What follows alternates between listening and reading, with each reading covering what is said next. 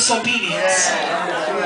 And you know the saddest thing about it is because if I contract the disease and then I don't tell you, and then I go sleep with him, and mm. he don't tell me, then guess what? Mm. Everybody down Go the ahead. line is catching it. And ain't nobody gonna say nothing because we all too embarrassed to say we got mm-hmm. it. Because then we think nobody else ain't gonna wanna mess with us. I'm telling you what I know. women, let me tell you something. Do not let no man move in your house. Don't do it. If he don't have his own stuff, when you meet him, that means he ain't gonna never have his own stuff. If he ain't got his own vehicle, I'm serious. This is 2014.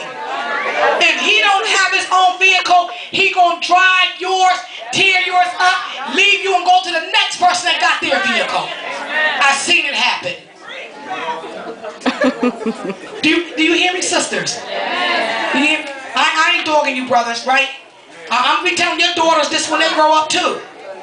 Now you know, you fathers, you know somebody hurt your daughters, you it's on. It's on. It's on. Somebody going down. If somebody, listen, if somebody, if a dude